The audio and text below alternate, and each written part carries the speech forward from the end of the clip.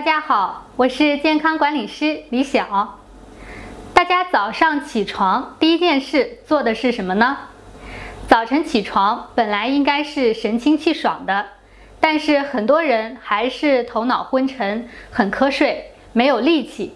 那这样的情况呢，有可能是湿气重造成的，还有可能是身体比较虚，气血不足。所以在早晨应该阳气生发、非常精神的时候，反而觉得疲惫很累。早晨是锻炼身体的好时机。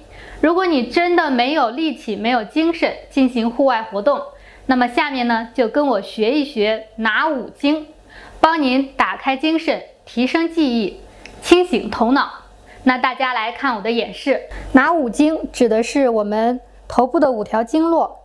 中间的是督脉，两侧的呢是膀胱经，在两侧的是胆经。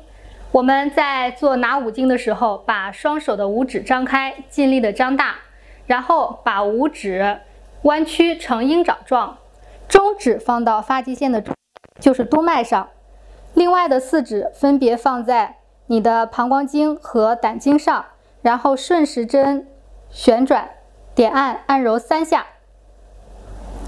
向上移动一点，继续按揉三下，要用你指尖、指腹的力量，用力的按揉，让力量能够透进去。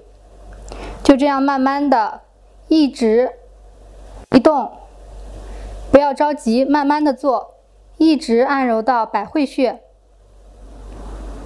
好，到百会穴之后，再回到发际线的位置，重新开始。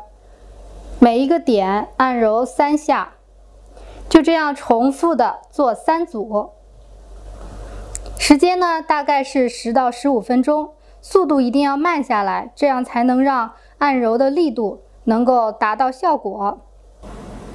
在自己感觉不想动、很懒、很疲惫的时候，其实往往是我们非常需要锻炼的时候，所以大家要坚持锻炼，不能让自己越来越懒。拿五经这个方法就能够帮助大家在早晨迅速的给自己提升一天的精神。那我们今天的内容就跟大家分享到这里。我是健康管理师李晓，如果您还有什么问题，可以在视频下方给我留言，或者是发私信给我。谢谢大家。